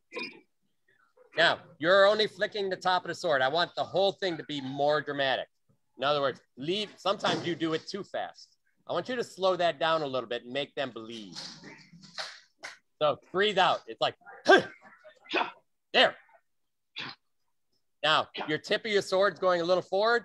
Just think about pushing the sword and the stick out at the same time. Don't drop the tip so much. Slower, slower. Do it really as slow as you can. There. Now, yes. You notice that that sword stays essentially vertical, doesn't it?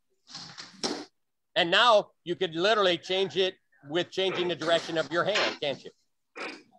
But if you start dropping your tip too early, then what happens is you have to recover. Does that, you see how you're flicking the tip forward? There we go. That's, that arm's even better. You see how you're not flicking the tip forward? Because as soon as you flick that tip forward, what do you have to do? You got to bring that sword back, don't you? You see where I'm coming from, Germanicus? There we go. Good. Now I want one big fake without flicking the sword for it. I just want you to huh, drop into the stance. There, and then next one will be a throw. Good.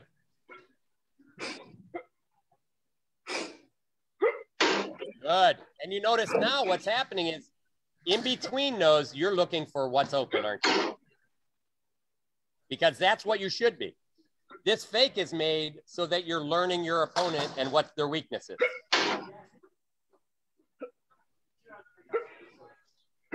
So there's going to be some time, Germanicus, where you're going to go to a practice and you're going to be like, I normally beat this person.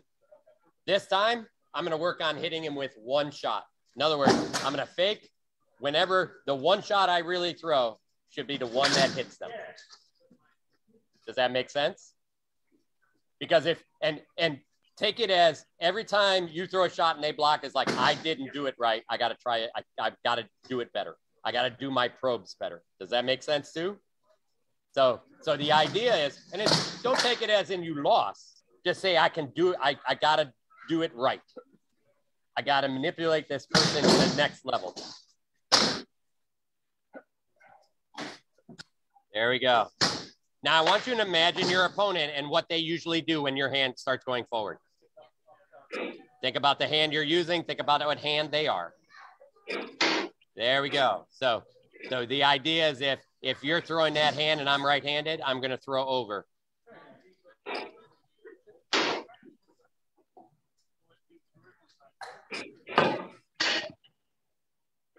What's up, Nessa?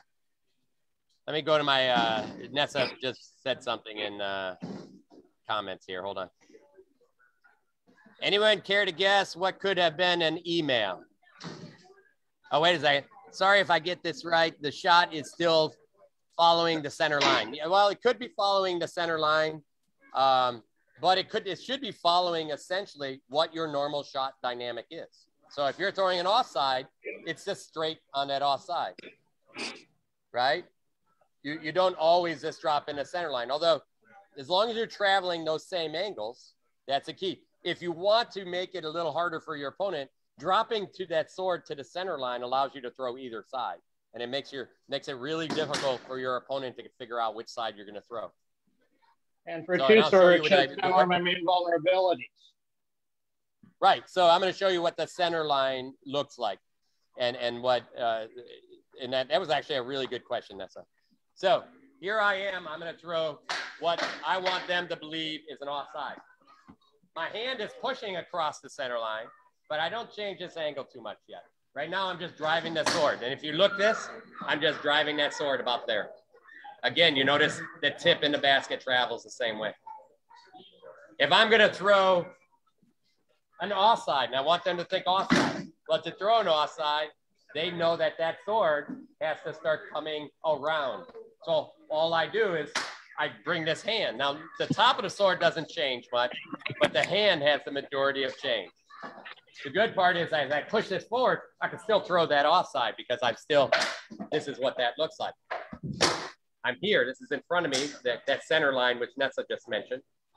And now I can throw here, or I can throw here, right? So, and the good part is you're covering your center line. The weakness there is your outside lines.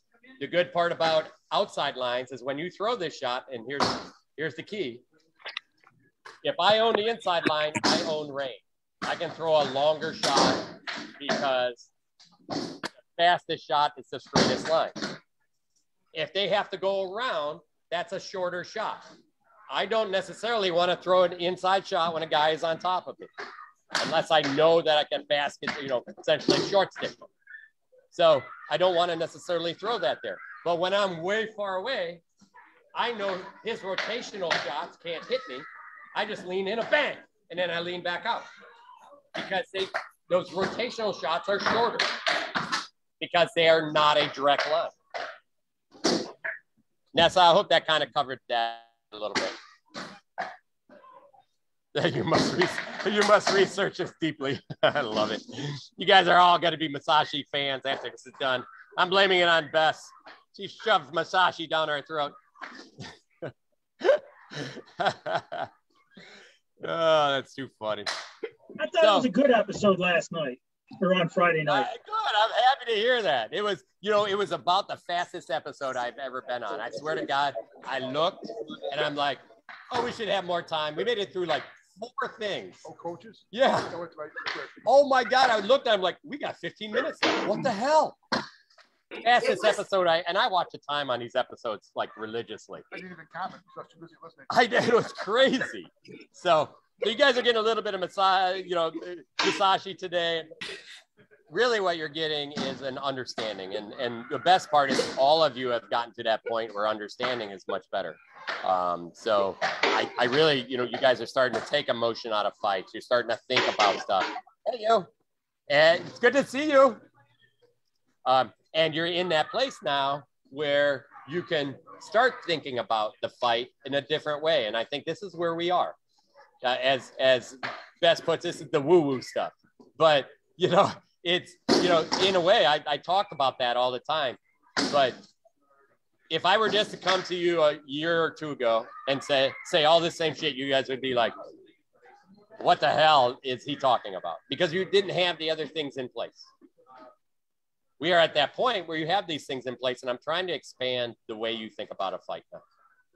Because that will open a whole new door to what you can be and what you can do to your opponent. I hope I hope everybody's seeing that a little bit. All right, the last fake I'm going to show, and then we're, we're just going to turn the cameras on, let you guys watch, is, is a leg fake. All right, because a leg fake is really, really important. So we've already done, whoops, sorry, wrong one. Replace.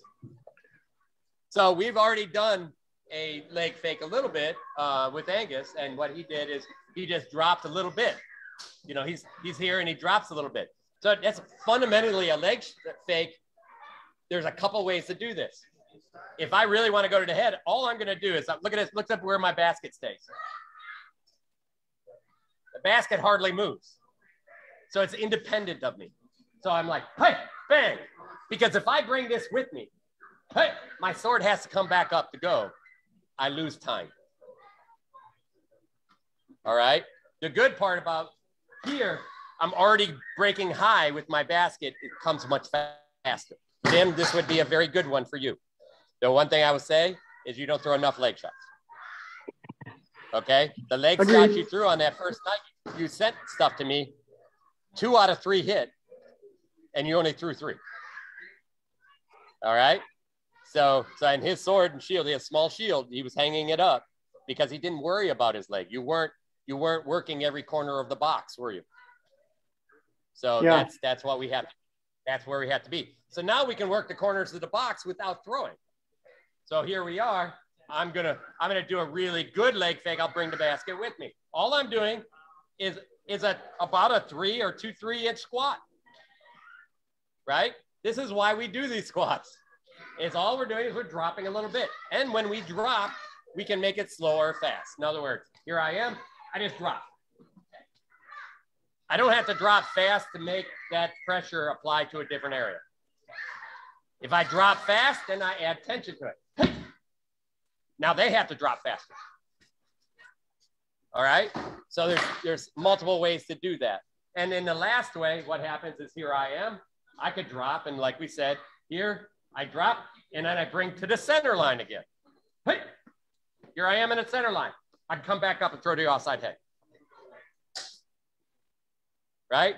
Here I am to the center line. I can slide sideways, throw the inside leg. The big piece on that is here I am. Watch my sword. Here I am. Here I am.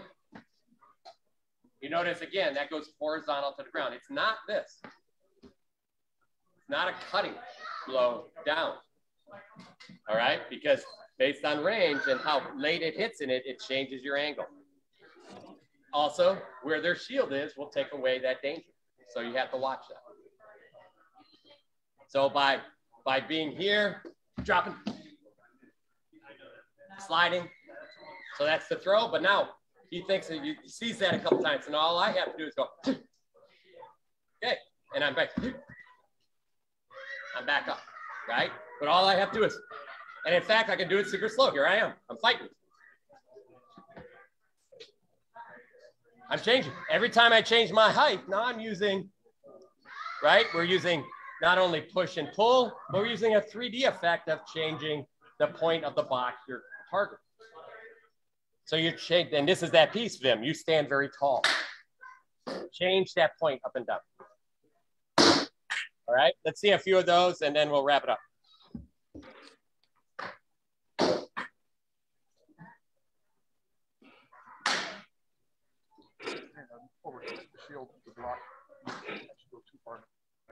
Exactly.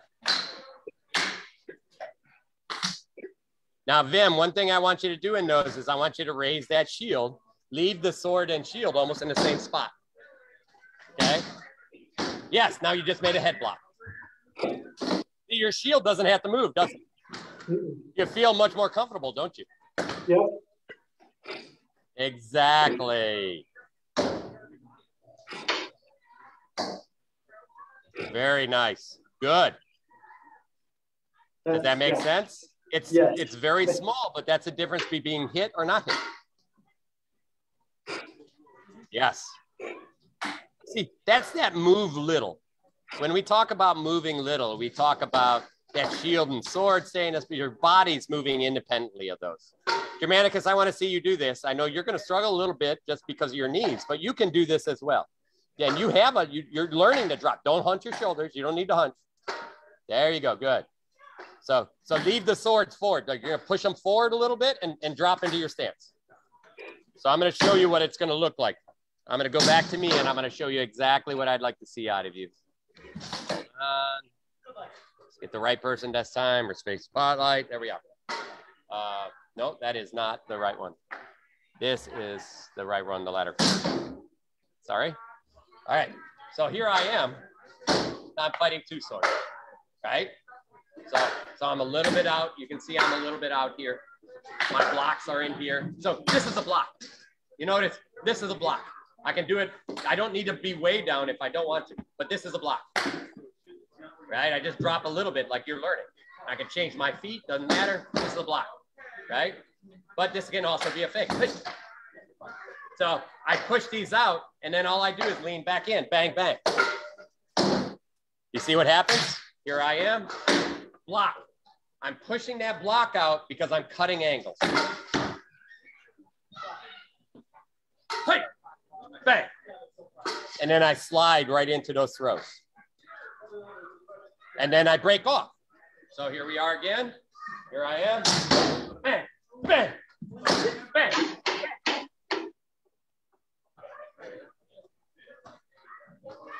But that first one is a good push out fake. Yes, that's the way.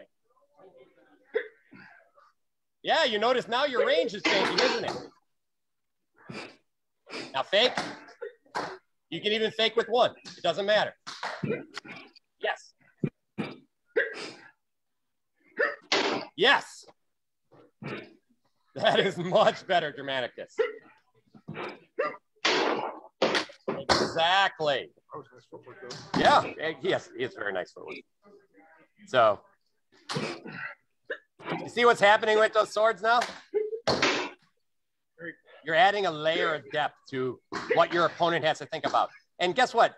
What's really nice about this is you're not committing yet, right? So you don't have to throw. And in the West, what happens is they're just waiting for you to throw so they can start their throw. So your goal is going to be I'm going to pull you into throwing constantly. In other words, I'm going to fake, I'm going to make you think we're fighting, but we're really not fighting. I'm just making you throw some blows and I'm going to block. And when you're done, I'm going to make you do it again. That makes sense?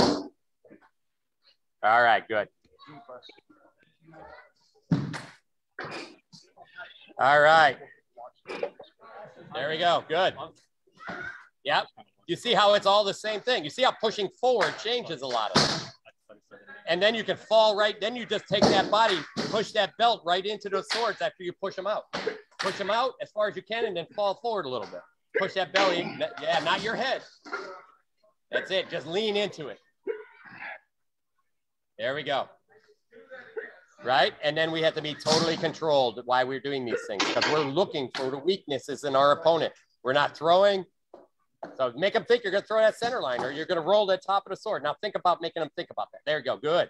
So you could throw or you don't have to throw, but right now it's your choice. They don't know. Exactly. Very nice. Let's see. Bess, I'm to watch a little bit. No problem. Good. I love those drops, Bess. I'm to tell you the best part in doing a good fake is making somebody respond. That's the win. I, I'll do something and they'll respond. I'll be like, oh man, that was so nice. I just won. I didn't even hit them. You know, I just feel good because what I executed worked. I still, there's lots more of the fight to go, but that's the beginning of the fight is executing something that works. And then I just keep adding to it. Yeah.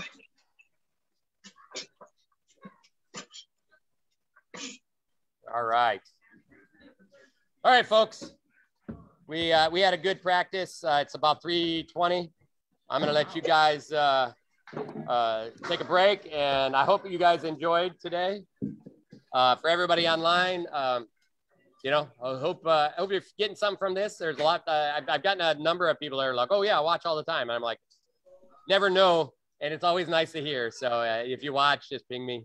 Uh, if you actually want to participate with us, let us know.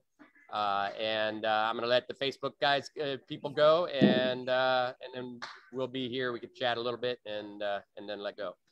All right, stop.